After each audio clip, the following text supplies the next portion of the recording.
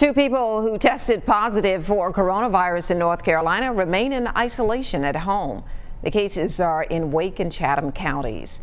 Health officials say they are not related. They say a man who was diagnosed in Chatham County traveled last month to an area of Italy dealing with an outbreak. A man in Wake County traveled to Washington State and visited a nursing home that's at the center of the outbreak there. And there are two cases of coronavirus in Virginia. One involves a person in their 80s in the city of Fairfax who had traveled on a Nile River cruise. The other is a U.S. Marine being treated at Fort Belvoir. The two cases are not related. Virginia health officials say both people are recovering. And doctors in South Carolina are monitoring six people with possible coronavirus. Officials say the patients tested positive, but the CDC has not confirmed the cases. All the patients are in isolation. A cruise ship carrying at least 21 people who tested positive for coronavirus will dock today in the port of Oakland, California. The mayor of Oakland says that she is focused on the safety of the port workers and the surrounding community. She called it a humanitarian effort. It is our duty to help these people. The friends and families on board this ship, the passengers who are sitting in fear and uncertainty. Well, passengers in need of medical treatment will leave first. California residents will go to a federal facility for quarantine and testing. Other passengers will go to Texas and Georgia.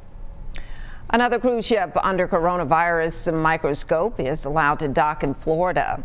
The return of the Regal Princess was delayed Sunday because of two crew members that may have been exposed to coronavirus. The CDC says the crew members in question used to work on the Grand Princess cruise ship in California. Passengers say they're thankful the government and cruise line are working to ensure that they are safe. It was a difficult situation, but they handled it beautifully. They did everything they possibly could do to make us comfortable. They kept us informed.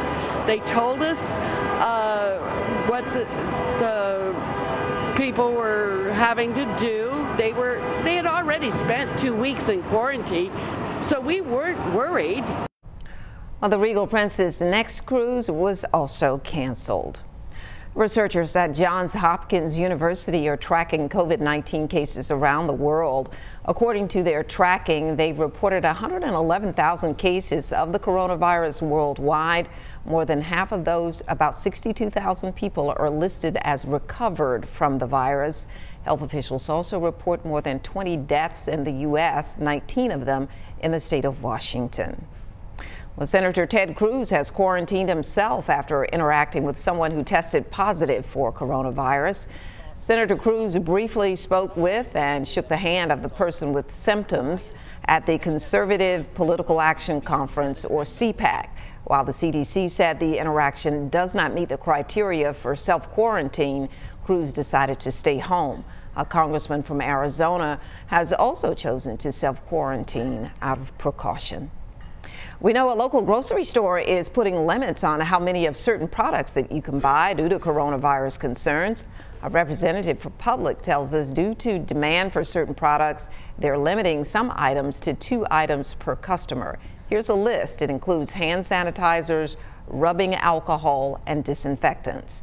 We're told the policy went into effect Friday and applies to all stores.